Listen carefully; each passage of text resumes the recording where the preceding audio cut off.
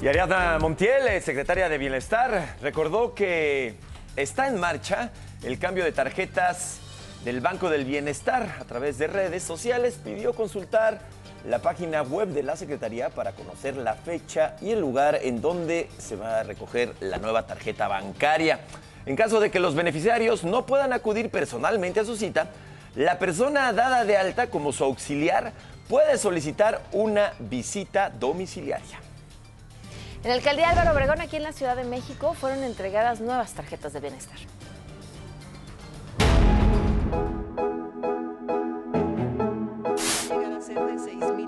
La jefa de gobierno, Claudia Sheinbaum, encabezó la entrega de las nuevas tarjetas del programa Pensión para el Bienestar de los Adultos Mayores a beneficiarios de la alcaldía Álvaro Obregón. Durante el evento, realizado en el Estadio Olímpico Universitario, la mandataria capitalina explicó que ahora será el Banco del Bienestar, que ya cuenta con 64 sucursales en la capital, el que administre los recursos y no la banca privada.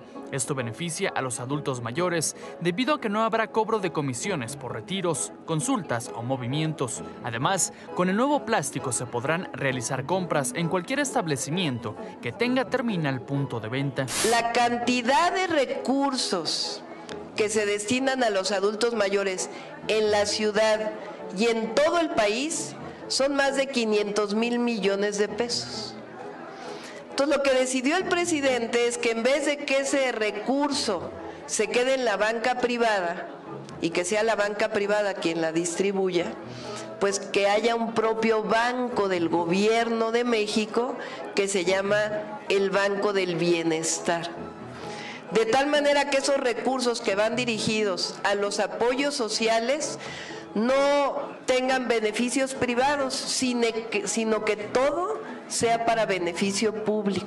Por su parte, la titular de la Secretaría del Bienestar, Ariadna Montiel, informó que en la capital del país hay 1.2 millones de beneficiarios del programa Pensión para el Bienestar de los Adultos Mayores.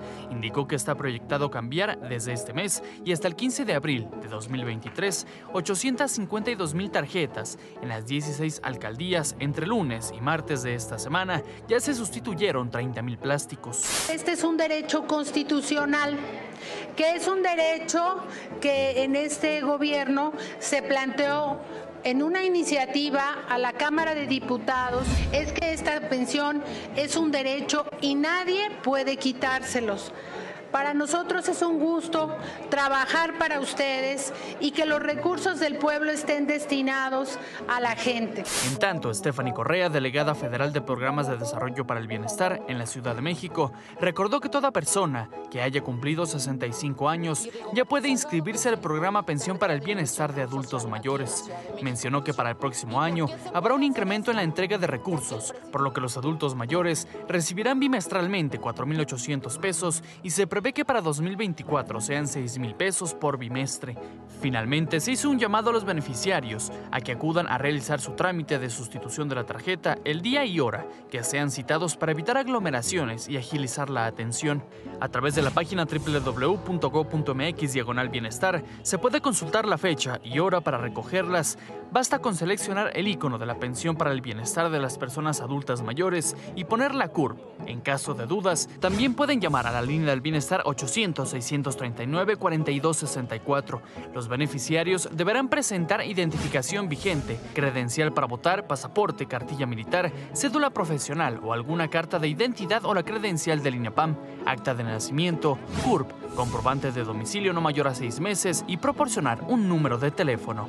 Con información de Wendy Roa, imagen